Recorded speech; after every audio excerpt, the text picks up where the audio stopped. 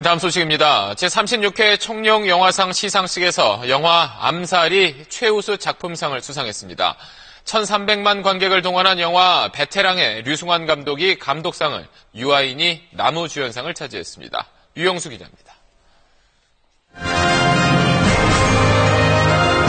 스타들의 화려한 레드카펫으로 시작된 제36회 청룡영화상 시상식. 지난해 11월부터 올해 10월 초까지 개봉한 180여 편의 한국 영화 가운데 최우수 작품상의 영광은 암살이 차지했습니다. 대한민국은 아직도 아주 강하고 힘이 남아있다고 생각합니다.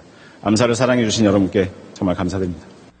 영화 베테랑의 유승환 감독은 감독상을 수상했습니다. 나무주연상은 사도에서 사도세자의 고뇌를 연기했던 유한 씨에게 여우주연상은 성실한 나라의 앨리스에서 억척스러운 여인을 연기한 이정현 씨에게 돌아갔습니다.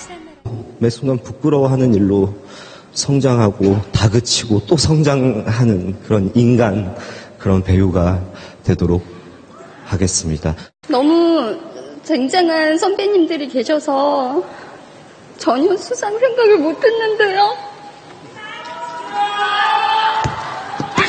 너무 작은 영화라. 사도는 나무주연상을 포함해 4개의 부분을 휩쓸며 최다 수상의 영광을 안았습니다. 국제시장도 최다 관객상 등 3개 부분을 수상했습니다.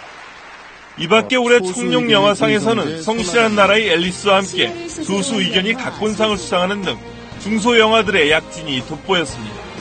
SBS 유영수입니다.